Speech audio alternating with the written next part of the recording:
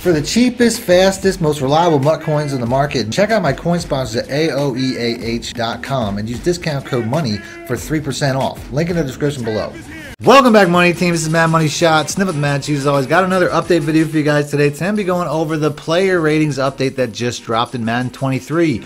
Just kidding. This is a much bigger update than that. I know I do a weekly video on the player ratings updates and, you know, guys go up and guys go down, but this one here has nothing to do with that. This is all about franchise mode, MUT, gameplay, offensive line, meta man zero blitzes. They addressed every single thing when it comes to uh, what have been the biggest issues in Madden 23. And I'm going to go over all that in today's video. But as always, if you guys want to see more videos like this, if you want to stay up to date on Madden 23 updates as they drop, hit the like button, let me know in the comment section, and make sure to be a subscriber. Other than that, let's go and let's get right into the issues. Now, the first one is probably the most important one because it's gameplay based. And I'm going to go over the gameplay issues first. Gameplay, when it comes to uh, whatever game mode you play, obviously gameplay is going to impact all of it. So I'll get over, I'll go over franchise and I'll go over MUT here in a minute. But let's go over the gameplay updates because this really addressed multiple meta blitzes and uh, blocking issues that have really plagued the online gameplay. None of the the defenses, none of the zone coverages, man coverages, offenses, all that stuff has been working just fine, except for the offensive line. And they really attacked that in a major way. So let's first go over some of the meta blitzes that they're patching. Now, the first one, apparently there was one where you could get like an A gap or B gap blitz from a 4 3 even 6 1 formation. I didn't know that one, and not a lot of other people did either. So I'm not going to go over too much with that, but apparently they fixed an issue where you could get like an interior line or interior defensive lineman in free if you did a certain setup with the 4 3 even 6 1. So they patched that before that even became a big thing. Good for them. Uh, another big one, this is probably the biggest one, which I probably should have led with, and that's the Nickel Overstorm Brave. This play still works but it is patched if you have a blocking running back. That's basically what it says. So if you're using the Nickel Overstorm Brave, or if somebody's using the Nickel Overstorm Brave uh, meta blitz against you, where essentially they just pinch the entire defense, blitz their safety, and bring it down in between the two linebackers, uh, this will this will still work if your opponent isn't blocking a running back. But if they're blocking a running back, it picks it up. So that's something where they didn't really patch this. If you don't have a blocking running back, the defensive ends will still get off free. But if you're blocking a running back, they will communicate better. The linemen will communicate better with each other, and this will get picked up. So the Nickel Overstorm Brave is no longer the meta. You just have to make sure that you block a running back. They also addressed the dollar spinner play, the dollar three two spinner play, which is another meta blitz. They say that basically says uh, fix an issue with pass block targeting, allowing an unblocked rusher when the defensive play would pinch their linebackers and sit in a gap in a three two dollar spinner. So they they you know basically patched that as well, and it doesn't say anything about needing a blocking running back. It just says that they patched that. So basically, that's another play that's dead. Uh, and then the last one, they also tried to fix the loop blitz again because last time, even though the loop blitz was patched a little bit and it was a little less effective, it was still it still worked. So now they changed it completely where you cannot even put a second level defender, whether that's a linebacker, a safety, uh, anything, into a QB contain. Only thing that can stay in a QB contain lane, I should say, is the lineman. Now you can see here I'm trying to walk these linebackers into the, the QB contain lanes and they just walk out. The second I leave, they walk out. So that is basically what it did. They will not stay in that lane, making pretty much any blitz where the QB contain was used to make the looping pressure, which I actually had a few in my ebooks, um, they don't work anymore. Now with that being said, those three uh, meta blitzes are all dead, but I actually put out a meta blitz that was not patched and I will have a link in the description and I'll also have a pop-up at the end of this video on screen. So if you guys need a new defense because it looks like you all do if you're using these defenses uh, this is the best one out there right now that was not patched because it has nothing to do with QB contains or anything like that. So link on the description and link on the screen at the end of the video. Uh, they also did something where apparently there was a defensive end coming out of a nickel over blitz. If it's the cover two, I know exactly which one they're talking about because that was one that I was uh, I had my ebooks as well, but I'm not really sure because it doesn't really explain that too well. The next big issue is catching. I don't really think catching is too much of an issue, but uh, they do have things like the aggressive catch glitch.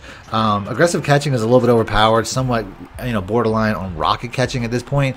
Uh, it doesn't say anything about addressing those things or tuning them down, but it does say that they did uh, change a couple things when it comes to catching. Apparently, sometimes you call for a RAC catch and you get a possession catch. They fixed that. Uh, things like knockouts wouldn't come up when they were requested to come up. Uh, things like uh, tipped balls being caught by receivers on offense, which can be annoying but I don't really think that was too rampant or that happened too much. Uh, there's also something here where it says fixed an issue where multiple midair interactions uh, would trigger before the ball arrived, causing receivers to miss the ball. I know that I've had that happen to me sometimes where it says it's out of range when it clearly was in range and there was really no reason for the receiver not to catch it. So things like that, it looks like they, they fixed.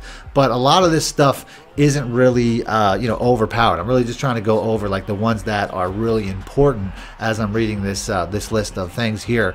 Uh, there's also one where um, this one probably is to, to tune down the juke hurdle combo, which you know, a lot of people know known as the Jurtle. This one here can be a little bit overpowered. I know a lot of pro players love the Jurtle because they change directions really quickly. They can jump over players. What says now they changed that to uh, basically make sure that the the height and speed of the change of direction is appropriate, which is another way of saying that they just they just tuned it down. They nerfed it. So if you were jurtling, they nerfed your Jurtle, buddy. Sorry. Uh, so that's done. Then it also says that um, when it comes to strip ball mechanic, it says they're reducing the oversteering of the defender, which sometimes would lead the uh, defender away from the ball carrier. So that's, you know, those are the biggest gameplay issues right there. Another big issue, and this is something that I've gone over in multiple videos and defensive cheats videos, it says they fixed an issue, sometimes allowing the offense to see the defensive zone art during the play in online head-to-head games, which is something that I mentioned. I told them, I, I said in those videos, I have no idea why this is happening. It really shouldn't be because it gives away the entire defense. If your opponent is in a curl flat and you see them in a curl flat, you know that they're in a cover three or a cover four. So I never understood why that was there. It looks like they finally fixed that. That's not something a lot of people were complaining about, but to me that was super weird that you could see the defensive play art, uh, and now apparently that's going away. Uh, when it comes to pre and post play, a lot of celebration issues were fixed. I know sometimes you'll see a guy just like freeze after a play. It says they fixed that. Sometimes if you run a hurry up, you can flip a play. You can cause uh, tight ends and receivers to switch positions and switch switch routes and stuff like that. It says they fixed that, even though that's something that's been in the game for a long time, and they said they fixed it multiple times in the past. I'm sure. Also fixed an issue where certain players or certain formations could make unlimited hot routes without the quarterback actually making any head movement or actually making any hand movements or really anything uh, to let the opponent on defense know that they're making adjustments. So those are all somewhat small fixes. They're getting smaller, as you can't tell. The gameplay fixes that I'm going over are getting smaller um, as I go through the list. And that's pretty much it. So we're going to go ahead, we're going to move on to the franchise updates before we get them up because I know every video I've put out about updates with player ratings and stuff like that, I have people in the comment section saying, when are they going to fix franchise mode? And if, if I, I don't play a lot of franchise mode, but from the looks of it, from the things that people were saying in my comment section, all of these major issues are, have been majorly addressed. The biggest one is the disconnection issue that was causing people to lose progress when it comes to the franchise. It says that they fixed the disconnection issue that was impacting the high volume of users in franchise and face of the franchise, where essentially um, you were, you know, disconnecting, losing, and uh, you know that's something where, yeah, you're gonna have to play your franchise. I wouldn't surprise, be surprised if it was still happening to some people, but it says they fixed that. So if you get in your franchise, you're still having issues, come back to this video, leave a comment letting EA know that it's still going on, or just send them a direct message on their on their Twitter or whatever. But that was one of the biggest issues. Is that a lot of people were saying franchise mode was basically unplayable because of that issue. So hopefully it's fixed for you guys. Hopefully you can get back to your franchise mode because I used to play franchise mode a lot. I know how important it is to people, and hopefully that's a big issue that's fixed. The next two are are geared specifically at uh, players making it to free agency that never should have made it to the free agency. Apparently, the issue was that when a computer controlled team didn't have enough cap space to make an offer to a player during in season re signing, they would just let him go to the market. Where now, if they don't have enough money, they wait to the offseason re-sign period where, where the final decision before the offseason comes up to make that offer. And I'm sure that they increase the likelihood that they'll take that offer as well. But if they wait till the end of the year to, to try to make that offer, they'll more than likely have more uh, cap space based on the fact that other team or other players on the teams ca- are you know salary cap or their their contract will run out. So they'll have more money, and then they'll be able to re-sign those players so that they don't get to the market. It also says that they improve the targeting logic logic so that the CPU controlled teams will just be smarter about it instead of signing uh, because that's the other thing if they're if they're passing on signing uh, their star players in season for cheaper players that they can afford in season, then they still won't have money to buy to, to you know re-sign the star players. So it says they really try to change the logics where they're basically going to uh, better differentiate uh, between elite players, developing players, and depth players, meaning that they're going to target the star players. So there should be less star players making it to market, which will be way be way more realistic than in year you know in previous. Uh, years, considering um, that a lot of people were reporting that like huge, you know, not high 90 overall players were making it to the market that really shouldn't be there. So those are some major issues. There's a lot of minor issues that were uh, resolved as well. Uh, one of them that I'm it's definitely worth talking about is apparently the playmaker archetype was not increasing the correct attributes when you're adding points. I know if you're spending the time grinding and trying to improve your favorite players and you're putting points on them and it's not improving what you're expecting to improve, that's super frustrating. Things like, uh, you know, when it comes to the archetype for playmaker, things like juke move and break tackle and ball carrier evasion are things that are more likely to increase now, uh, which is important. But it only really talks about that one, so I don't know if there's really any other archetypes that had issues like that. Also says fixed an issue where the top threat was someone who didn't make sense. So now top threats from week to week will make sense. Uh, and that's pretty much it. There's a lot of other really small ones. There is some crash that was happening if you were loading into formation subs without a head coach. I don't really know what that was, but none of these are really major. The major bugs when it comes to franchise mode have apparently been addressed, and hopefully it sticks. Now, the next one I'm going to talk about is Ultimate Team. Uh, if you guys follow other Ultimate Team channels, you know that Most Feared is back. It's back every year. It's October. Uh, but they fixed a lot of issues when it comes to the Field Pass reward system which I'm really happy about. I'm also going to tell you guys about um, some of the rewards that they've added, which look like clear, like, you know, makeup rewards for EA for dropping the ball these first couple of months. Rewards like Josh Allen, which you can get a 92 overall Josh Allen, which Gunslinger I think only costs like 1 AP. I forget which level that's at on the time of recording, but it's on the screen right now.